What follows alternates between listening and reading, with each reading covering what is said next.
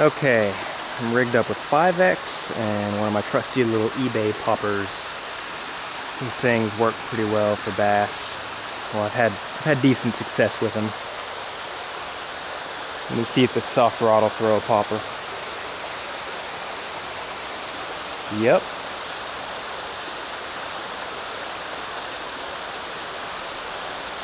Ooh, ooh, ooh.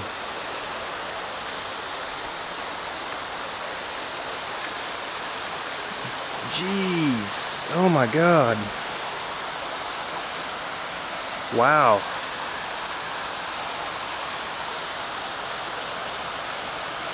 That is a good sized fish for this pool.